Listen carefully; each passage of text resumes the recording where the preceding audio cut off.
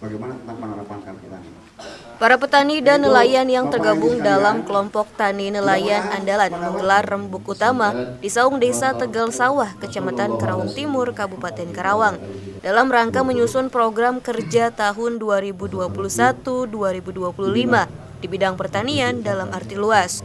Ketua KTNA Karawang Enjam Gamsir berharap KTNA bisa mendorong produktivitas produk pertanian. Hal ini guna mewujudkan impian pemerintah untuk merealisasi kedaulatan pangan. Di samping itu, ia menyarankan pemerintah untuk membentuk badan usaha milik desa di setiap desa untuk memaksimalkan penyerapan hasil pertanian masyarakat. Pasalnya, BUMDes ini sangat perlu untuk mendukung program pertanian serta swasembada pangan di Kabupaten Karawang. Dalam rangka menyusun program kerja tahun 2021 sampai 2025 bidang pertanian dan da, pertanian dalam arti luas. Jadi tidak pertanian tok saja, tapi juga perikanan, kemudian peternakan dan kehutanan.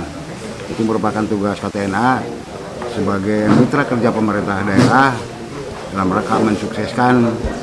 Ya tadi kalau di pusat ingin negara berkedaulatan pangan kemudian ingin menjadi lumbung pangan dunia katanya tahun 2045 maka dimulai sekarang ini. Setiap lima tahun sekali ada ada kegiatan-kegiatan kegiatan-kegiatan itu yang sifatnya menunjang.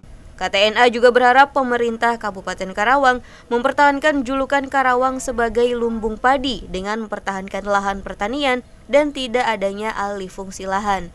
Maimunah, Badar TV, Karawang.